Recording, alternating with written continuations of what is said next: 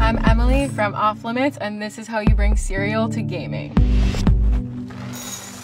Off Limits is my cereal brand. We collaborated with Modern Warfare 3 Zombies. There was no better way to do that than with zombie cereal.